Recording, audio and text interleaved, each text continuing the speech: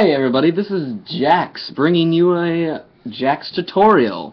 Now here we have a small uh, speeder thing for the snow and we're going to begin by taking these two pieces and connecting this right there. So you have a little thing like that. Then you're going to set that down and take this blue long piece and insert it this way right into this piece, just like that. And then you got that.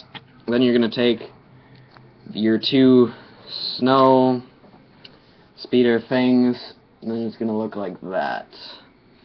So then you're going to want to take this piece that you had already put together and slip it right on the back there, so it looks just like this.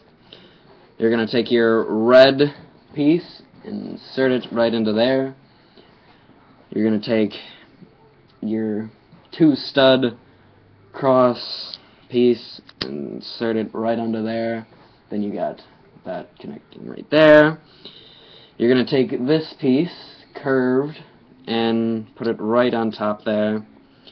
Then you're going to take this piece it's got two studs on this side and two studs on that side and you're going to put it right there like that then you're going to take your control piece. You can use any kind of control piece. Doesn't really matter as long as it's two stud. And insert it right onto the piece you just put on. Then it's going to look somewhat like this, a little speeder. Then you're going to take your basic um, droid, place it right onto that three stud piece you put in the back, and there you have it.